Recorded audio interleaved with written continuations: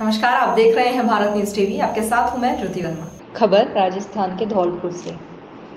आज सुबह करीब 6 बजे राजाखेड़ा रोड के समीप एक ट्रैक्टर ट्रॉली अनियंत्रित होकर पलट गई जिसमें एक व्यक्ति की मौके पर ही मौत हो गई।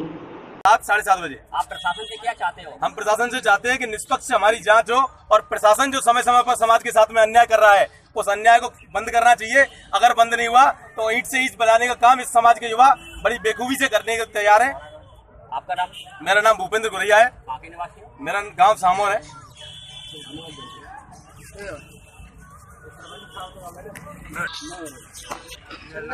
हो? ग्राम पंचायत होता है। घटना क्या है? उपयुक्त घटना ये है कि आज मेरे कुछ समाज के बंधु अपने रिश्तेदारी से कर्म लेने के लिए गए थे। वापस से लौट के आए।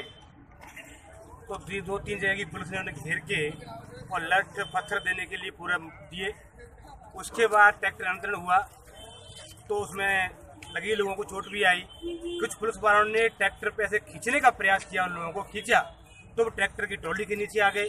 लठ भी मारे से घायल भी हुए। और एक दिन की बात नहीं है पुलिस प्रशासन रोज़ाना समाज के प्रति कर रहा है और कई सालों से चल रहा है। मैं भी देख रहा हूँ, आप लोग भी देख रहे हो, सारा सब देख रहे हैं लोग, कि लोगों के ट्रैक्टर जब खाली लोग रिश्तेदार आते हैं हमारे, खाली ट्रैक्टरों से लोग आते हैं, उन्हें पकड़ के ज़बरदस्ती अर्थी धारा बंद किया जाता है, लोगों के खिलाफ एफ़ दर्ज की जाती है।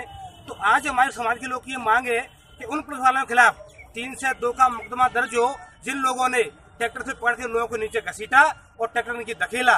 लोगों के खिलाफ का मुकदमा दर्ज हो, सीबीआई जाँच हो। और अगर ऐसा नहीं हुआ तो समाज रोडों पर भी जाएगा और आंदोलन भी करेगा और पुलिस वाले खिलाफ यहाँ से दिल्ली तक लड़ेगा, ये चुप नहीं बैठेगा। क्योंकि पुलिस वालों ने यहाँ अपनी मनमर्जी कर रखी है, लूट मचा रखी है, यहाँ वो